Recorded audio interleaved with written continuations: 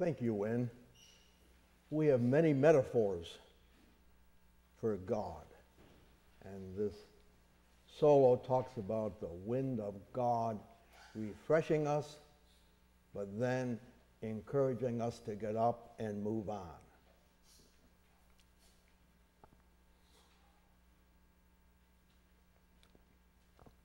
A grandfather tells this story.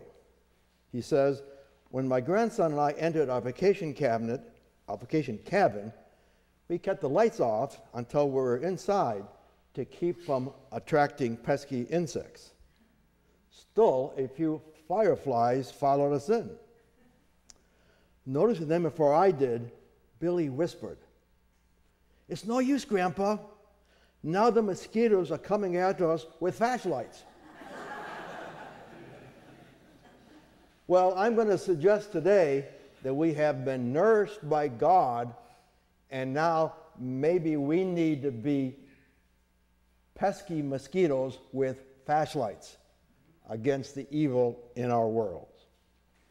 For the last four weeks, the sermons have been about bread and feasting at the table. And when I looked at the lectionary reading for today, I couldn't believe it. It started with Jesus saying what we heard last week Those who eat my flesh and drink my blood abide in me, and I in them. This is the bread that came down from heaven. You know, enough is enough. Hopefully, we've gotten that message. We have been nourished by the presence of Jesus to Christ. But now that we are full of Jesus as well as wisdom's table, what do we do? You know, many of us feel we want to take a nap after we've had a large meal, but we need to get up from Jesus' table and take action.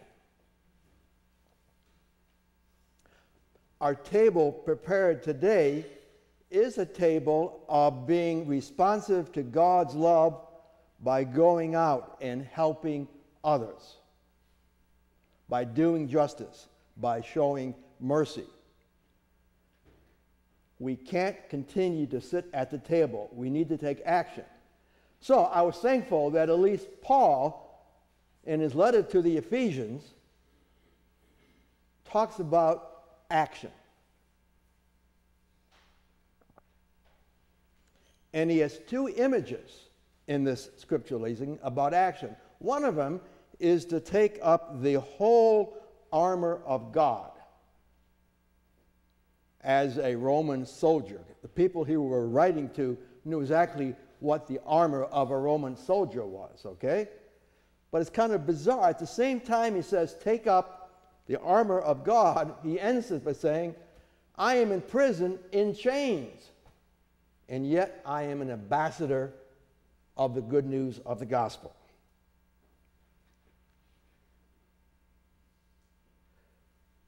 The New Testament is full of paradoxes. And the paradox here is to take action means both. It means to take up the armor of God and be willing to be in chains as we are an ambassador.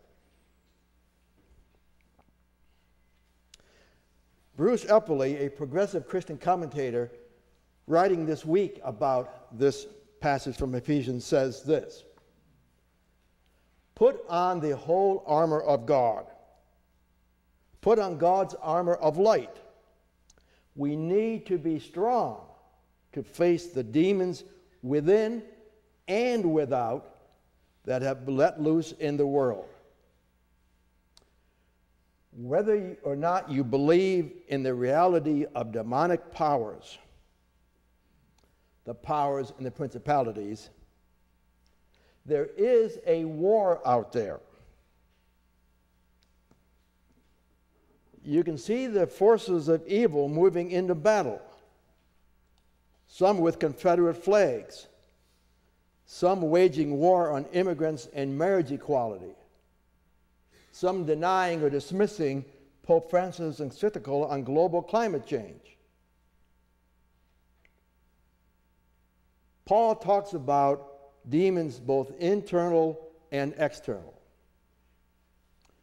So Bruce Epperly continues by saying, we need to recognize the need to protect ourselves from both internal and external forces. Many of us are imprisoned by anxiety, depression, trauma, family of origin issues, and or the impact of religious ritualistic abuse. These powers are often greater than we can bear and threaten to undermine our spiritual and emotional integrity. Our only hope in responding to these evils is found in trusting God for our healing and sustaining and aspiring to live by the highest and best despite the challenges of life. We also need a community to uphold us in prayerful support. No one is ever saved alone. We need a cloud of witnesses, a community of love to sustain us in life's challenges. So we have the armor of God. We don't have time to explore all the images that Paul presents here, but I'd like to focus on three the shield of faith, the shoes used to proclaim the gospel of peace, and the sword of the Spirit. Now, in Roman times, the shield was made out of wood and covered with leather, and it was wet because oftentimes the enemy would send down flaming arrows. And so it was a defensive mechanism to prevent these arrows from doing much damage. What's interesting is these shields were very loud, very large. They not only covered the whole person, but they covered a third of the person next to them. So, you know, we have these terrible images of police in some of these violent outbreaks with all their shields lined up. But that's what the Romans did. The shields were interconnected. And I think that's an interesting metaphor of what the church is all about. We have our individual shield of faith, but by connecting them together, it is stronger and more powerful. Look at our hymns for today. A mighty fortress is our God. The old version says, a bulwark never failing. The one we sang today says, our, our strong and sure protection. We'll be singing after the sermon, Come, God Creator, be our shield. We have been fed by Jesus. We are nourished and protected from the evil forces within and without. Most of the armor that Paul describes is defensive, is protected. And the one message we have being taking on the whole armor of God is that we are protected. And using the previous sermons, we have been nourished by God.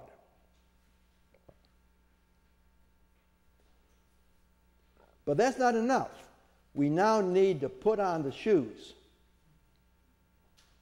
Now, the Roman soldiers' shoes were basically sandals with very thick soles, and they were used to be prepared for long marches, oftentimes into enemy territory.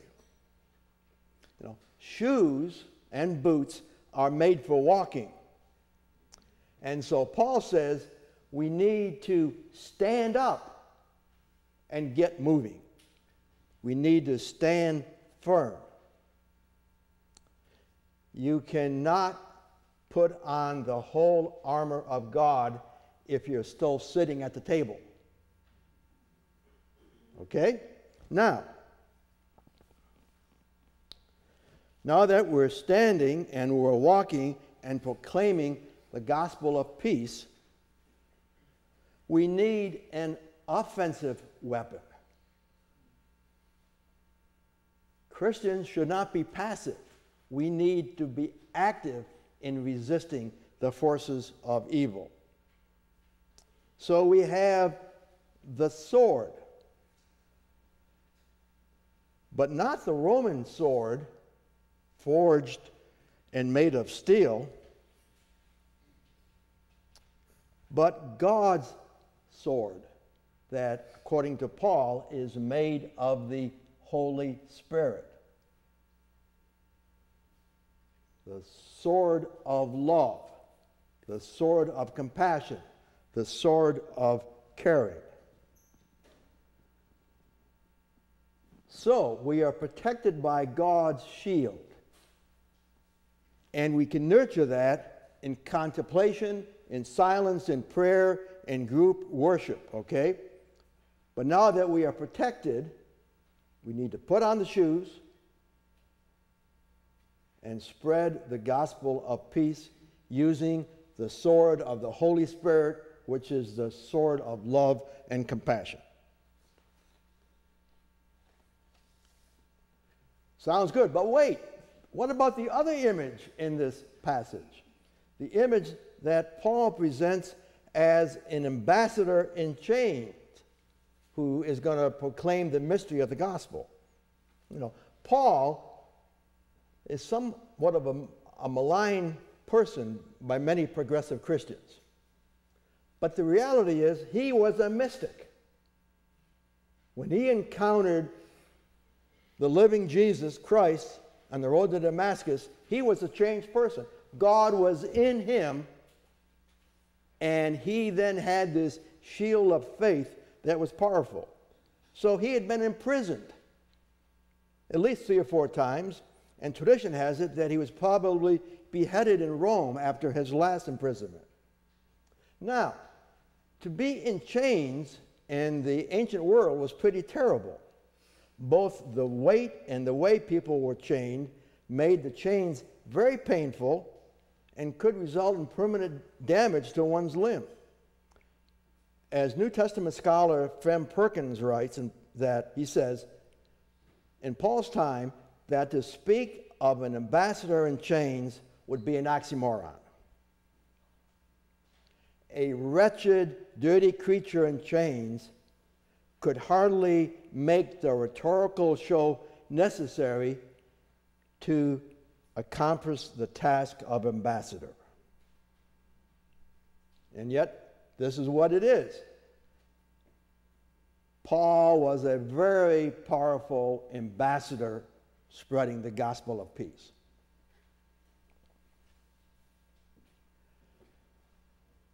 Let's move forward to three years ago. Most of us have heard about the Transform Now plowshares activity that took place down the road in Knoxville about three years ago when three persons, Sister Megan and lay brothers Greg and Michael, broke in to the facility. They wanted to heal and transform the building where nuclear material for bombs is made and stored. They wanted to transform it with their own blood, to mark it as a symbol of evil, empire, and war, to protest against its role in maintaining America's nuclear army. So, armed with flashlights, which is better than fireflies, they, they went about a, more than a quarter of a mile, cut through two chain link fences, and it's kind of bizarre. They expected much more trouble getting in than they did, and all of a sudden they were there at this building. Soon the white walls of the building were decorated with spray paint and blood with the words, Work for peace, not war. They, they hammered off a little chunk of the building symbolically to say, We're going to destroy this building. They placed crime scene tape across it because, from their perspective as ambassadors of peace, nuclear war preparation is, in fact, a crime. they placed Bibles and white roses on the ground. The, the white roses were to commemorate the White Rose, a German student a German student group that had opposed Hitler and promoted nonviolent resistance. So they did their action, and they waited half an hour singing songs, including This Little Light of Mine, Let It Shine All Around Y12.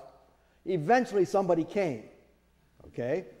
And the, the first person who came really was kind of, what's going on here? But approached them in a fairly gentle fashion. But then, when it was realized that this huge security breach had been, had been executed by these very meek and mild people, all heck broke loose, okay? And they brought in the reinforcements. Uh, the three of them were handcuffed, put on the ground for at least three or four hours, eventually taken to jail, uh, indicted, prosecuted, convicted to fairly long jail sentences.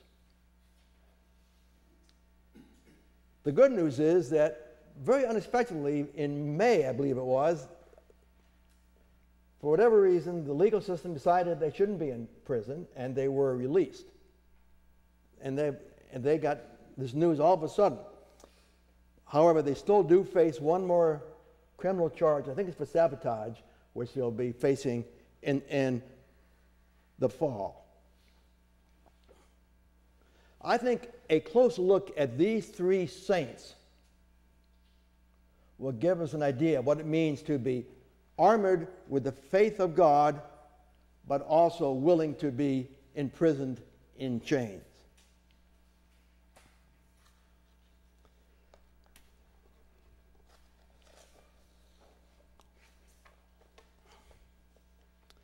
A couple of weeks ago, six of us from this church went to uh, Knoxville and heard Sister Megan and Brother Craig and Michael speak. And then the next day, Terry and I went to a demonstration against the, uh, the Y12 building. And I had a chance to experience these three people up front and in person. And what I'm going to share is a combination of my reaction to these giants as well as information from an article written by uh, Paul Schlo- I'm sorry, Eric Schlosser in this March New Yorker's magazine. Let's start with Sister Megan. She is now 85 and was 82 at the time of the break in. And walking that quarter mile up to the facility was kind of hard on her, but she, but, but she made it, okay? You know, she would fit right in here in our community in Uplands. Uh, she spent 30 years in Africa as a missionary, came back, and she has been arrested probably four or five dozen times. And this break in was her idea. Okay? But to me, what I read and then experienced personally was that Sister Megan really represents what it means to be a mystic. When she was testifying in court, she said that I have this profound love of all of nature, and I believe a belief in the interconnectedness of everything. And that's the essence of what it means to be a mystic, to be so, so filled with the wonder and awe of God that we all become one and everything is in, interconnected. And because everything is interconnected, having bombs being made at Y12 was, was evil. I was aware that of every moment being an imminent, an imminent threat to the life and harmony of the planet. But to see Sister Megan in person is to be in the presence of somebody who has something special. Her eyes sparkled, and she really exuded radiant joy. She was like Paul. She had experienced the living presence of Jesus, and it made her different and ready for action. When she was talking to us uh, at uh, the, the, the session on Friday evening, she talked mainly about her experience in, in, in jail. She was, the, the, the women's prison had been converted to a men's prison, so she was stuck in a detention center in a dormitory style room with 60 beds about a foot apart. Okay, can you imagine being in a room with 60 people confined? And she says that at times the room got shrieking loud. Okay? But being armored with God's faith and a mystical awareness of what it needs to be active, while she was in prison, she spent most of her time talking to, ministering to, and hearing the stories of the other women in the prison or in the detention center. And now she's become a very strong advocate for prison reform. So we have the mystic, okay? And then Greg, who is probably in his late 50s, is a very soft spoken, gentle, and humble person. In fact, before they talked in, at, at uh, the Church of the Savior, I was looking around. Who are these three people, okay? And I saw this one guy over in the corner, and I said, Boy, that guy really looks wimpy, okay?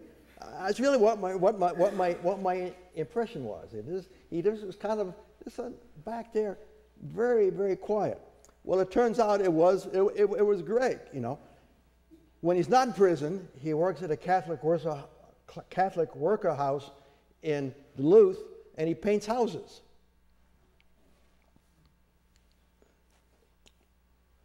This very gentle soul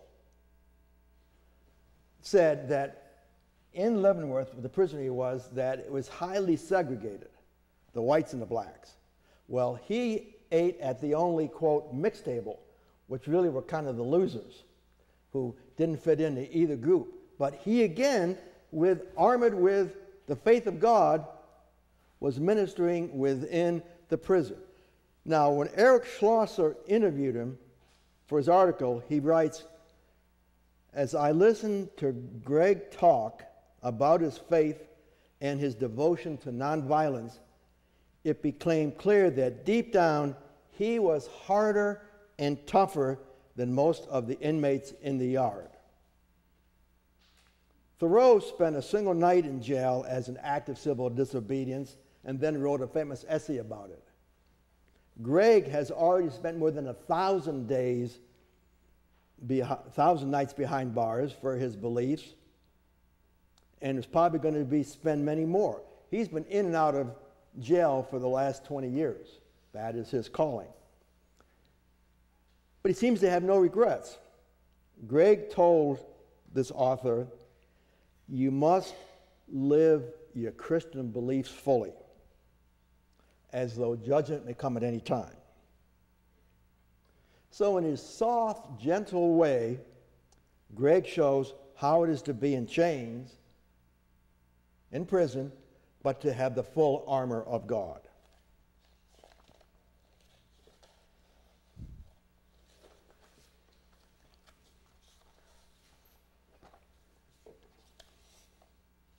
Now, the last of the trio is Michael. When I heard him speak on Friday evening, I was kind of taken back about his clarity, but his persistence that our government was a war criminal.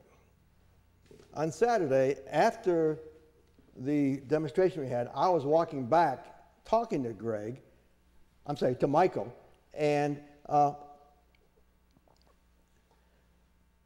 he was awesome in his intensity and his focus. You know, he was a high school dropout, a Vietnam War veteran who came back and realized that to be a Christian you must be nonviolent. He became a pacifist, but a militant pacifist. okay? If that's not an oxymoron, okay? And he walks and he talks with intensity. I included in today's bulletin one of my favorite passages from Gandhi, where he talks about, I know the path, it is straight and narrow. I weep, I, I rejoice when I walk on it, I weep when I slip. Well, Michael reminded me of someone who would do well with Gandhi and his nonviolent movement because of the intensity and the focus. He is crystal clear that we are engaging in war crimes and his actions of civil, of civil disobedience are not only legal but morally required. So I had an awesome experience with these people. The Sunday morning study class is looking at nonviolence. And I kind of made, I've only made two appearances there, but I was taken by the power of the readings that we've had. And one of them was a sermon by Dr. Martin Luther King, which he talks about loving your enemy and the essence or the necessity of forgiveness, of seeing the good in the enemy, of trying to become the friend of the enemy. And thinking about forgiveness, I recently came across this story about St. Francis, and I'd like to share this with you as our conclusion. Once in wintertime, it is said that Francis and his disciple, Brother Leo, were making a hard journey on foot through the snowy countryside of Italy. They had been walking in silence, because that's what uh, brothers do, for a long time, when Brother Leo turned to Francis and asked him, how can we find perfect joy? Francis stopped and replied, Even if all of our friars were perfect in the holiness and could work all kinds of miracles for others, we still would not have perfect joy.